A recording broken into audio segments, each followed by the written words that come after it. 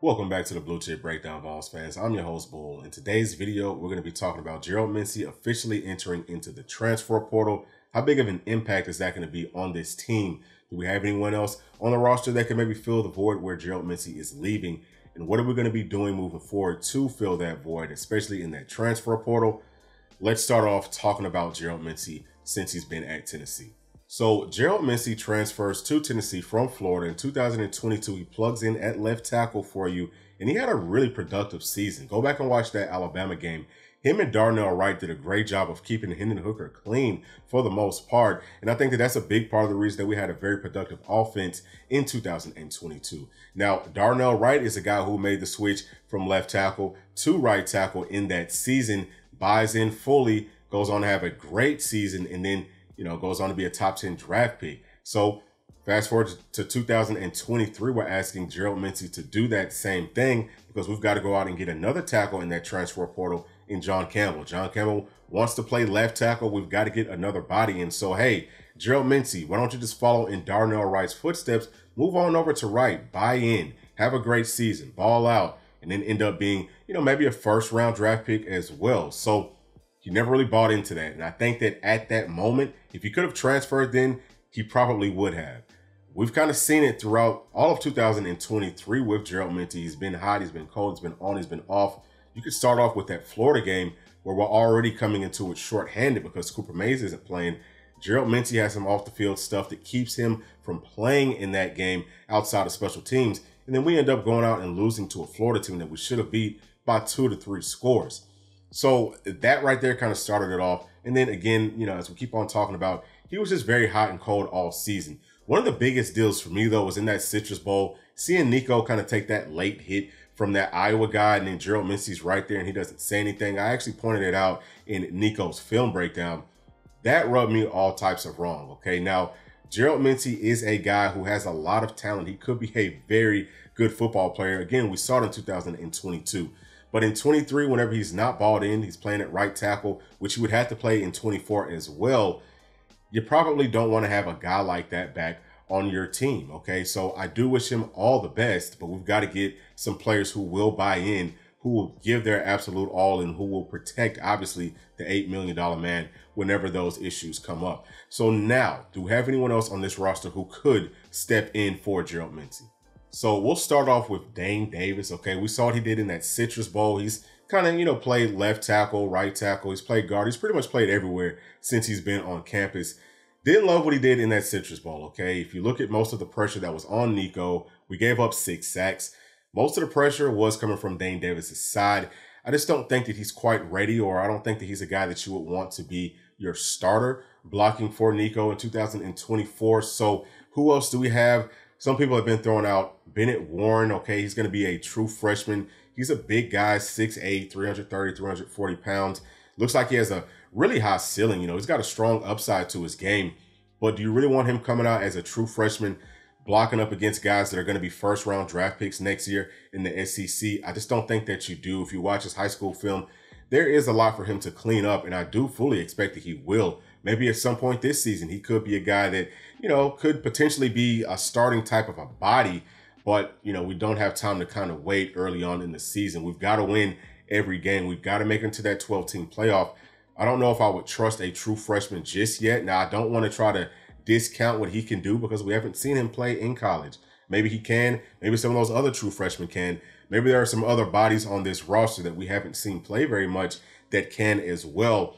That would be shame on the coaching staff, though, if these guys have been there. We've been playing Dayne Davis, and we saw what Dayne Davis did. If we have someone better than what we put out there in that Citrus Bowl, I think that it would be a shame that the coaching staff didn't play him. So I'm going to lean more towards the side of we saw the best that we had out there, and guys can get better heading into spring, and I do expect for them to. So who knows how much people can grow, but at this point, I just don't see anyone on the roster that you trust at a tackle outside of John Campbell.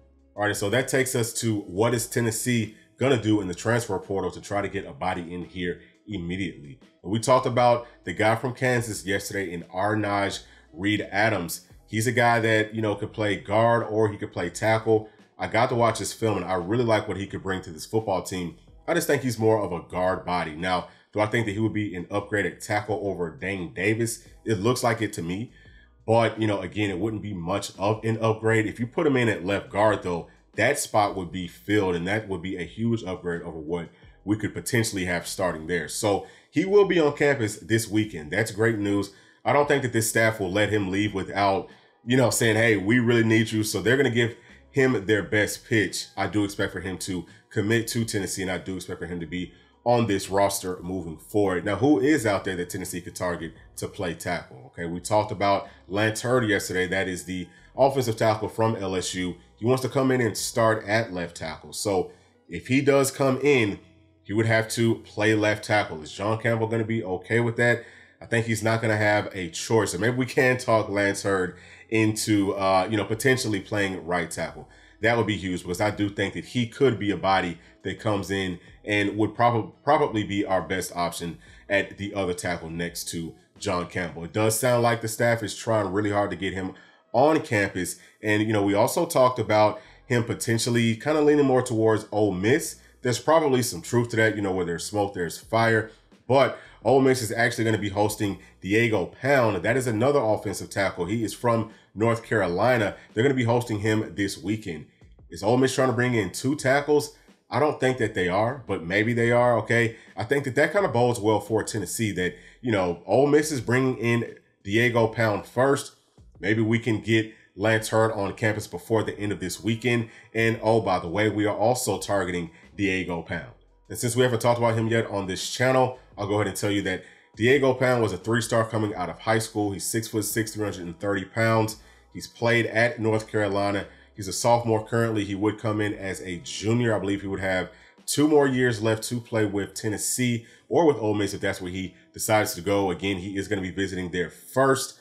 But if if he leaves out of that visit at Ole Miss, okay, then maybe we can get him on campus before the end of this weekend because Sunday starts a dead period, which means that we can't talk to anybody and we will not be able to talk to anyone until January the 11th.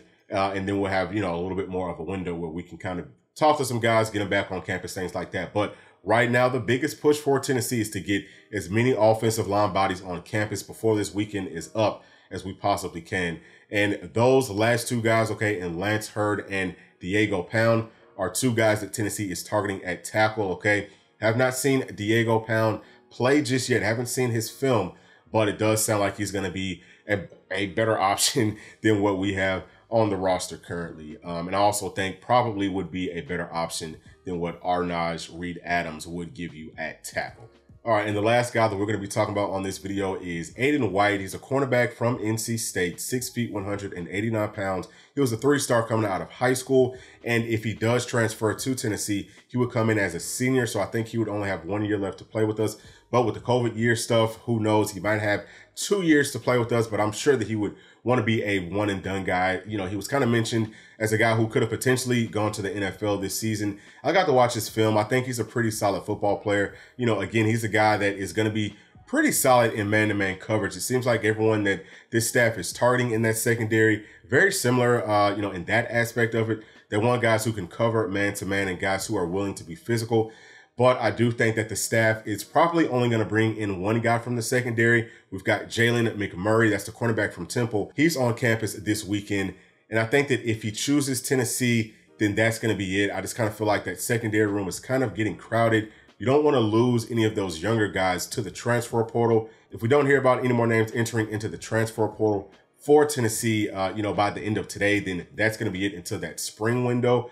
So, you know, maybe we can hold on to them, uh, you know, until that spring window and maybe try to convince them to stay. But I highly, highly doubt that.